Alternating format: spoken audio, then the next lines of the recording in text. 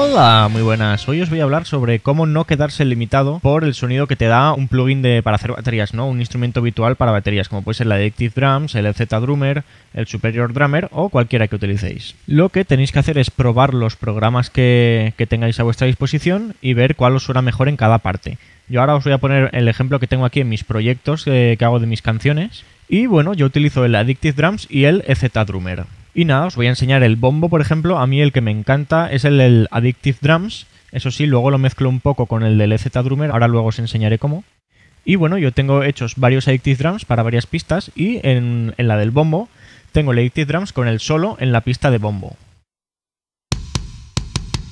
De forma que aquí cuando pase el resto de notas MIDI solo sonará el bombo, entonces no me preocupo por el resto de cosas. Luego tengo una en la que he puesto simplemente que suenen eh, los toms y los timbales, bueno, es decir, todo menos el bombo y la caja.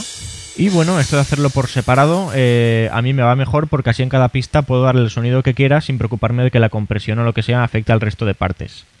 Aquí tengo solo la caja, pero como veis es una caja un poco de, relleno, ¿no? Quiero decir, luego esta caja la mezclo con la del EZ Drummer, que es la que realmente me gusta como suena. Que aquí la tengo exageradamente aguda, igual que el bombo, pero bueno, la caja y el bombo del EZ Drummer los tengo exageradamente agudos porque luego eh, al mezclarlos con el Addictive Drums es como mejor quedan.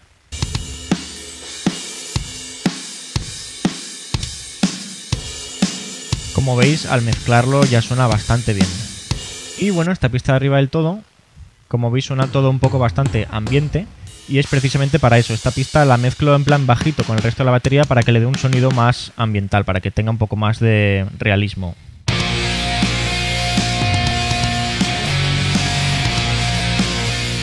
Como podéis ver es una batería que suena bastante potente, bastante llena, suena bastante real, no suena muy artificial. Y ahora vais a ver los toms sobre todo que dan de puta madre.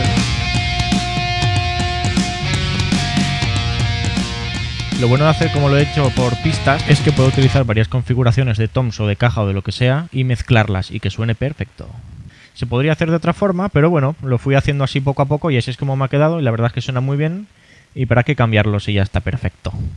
Y bueno, si queréis oír esta canción entera, tenéis aquí el link, es de mi canal Free Metal Songs. Además, en el vídeo del link, como en todas mis canciones que pongo en Free Metal Songs, tienen el link de descarga para que la podáis descargar y utilizar donde queráis. Y bueno, espero que como siempre os haya gustado y os haya parecido útil. Y ya nos veremos. One more time.